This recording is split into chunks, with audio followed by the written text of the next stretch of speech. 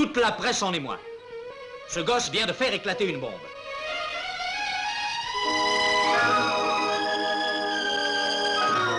Les 400 coups, a dit Henri-Georges Clouzot, est un film qui m'a positivement emballé. Le film le plus sensible que j'ai vu depuis la guerre. Quant à l'appréciation de Jean Cocteau, elle ne fut pas moins élogieuse. Je n'ai jamais été si bouleversé au cinéma.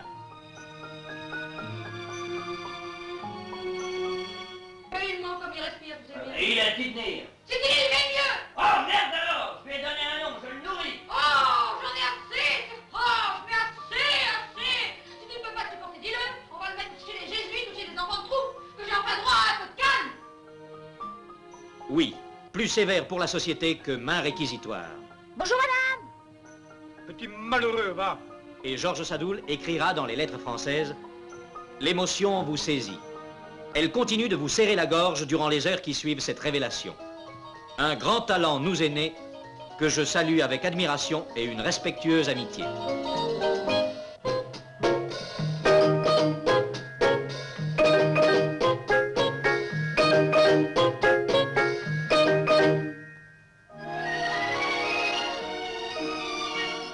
Oh mon Dieu, Antoine, il m'a sûrement vu. Ton fils, c'est lequel des deux? Tu vas prendre ce soir Penses-tu? Elle n'osera jamais le dire à mon père. Une histoire prenante, sans révolte spectaculaire. Ainsi qu'en témoigne Paul Guyot dans France Soir, le film a gagné tout simplement parce qu'il est beau comme tout ce qui va sans phrase jusqu'au bout de la vérité. Tes parents disent que tu mens tout le temps. Non, je mens de temps en temps, quoi. Des fois, ils- je leur dirais des choses qui seraient la vérité, ils me croiraient pas, alors je préfère dire des mensonges.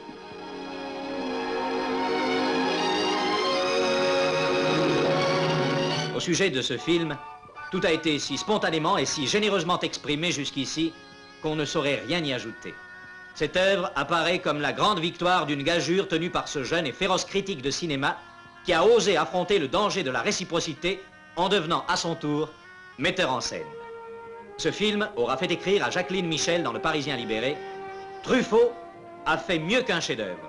Une œuvre rigoureuse, vibrante, belle et sincère qui nous arrache le cœur doucement, tendrement, sans cri et sans grandiloquence.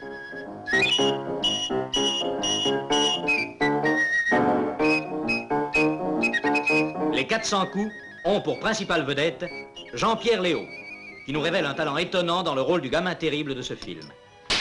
Patrick Auffet, Claire Morier, Albert Rémy et Guy Decomble. Oui, la recherche de l'absolu vous a conduit droit au zéro, mon ami. Pour les autres moins familiers de Balzac, je dirais qu'il s'agit d'une ténébreuse affaire. De toute façon, après ce coup-là, je peux plus vivre avec mes parents. Il faut que je disparaisse, tu comprends